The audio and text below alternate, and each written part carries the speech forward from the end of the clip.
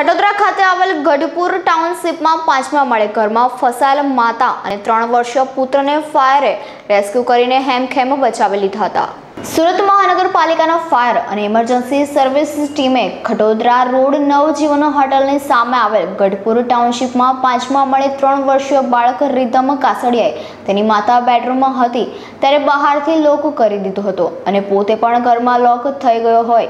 જે જાણ ફાયર વિભાગને કરાતા તાત્કાલિક ફાયરની team sub officer Pravin Patel અને તેઓની ટીમ સ્થળ પર દોડી ગઈ હતી. અને ઘટના માહિતી મેળવ્યા બાદ બિલ્ડિંગની અગાસી પરથી ફાયર વિભાગની રેસ્ક્યુ માટેની ચેરનોટ બનાવીને અગાસી ઉપરથી નીચે પાંચમા માળે ફાયર માર્શલ રણજીત મીરને ઉતારીને તેઓએ ચેરનોટની મદદથી જીવના જોખમે પાંચમા માળે બારીના ખુલ્લા ભાગમાંથી કાચ તોડીને ઘરમાં ઘૂસીને માતા અને પુત્રને બચાવી લીધા હતા.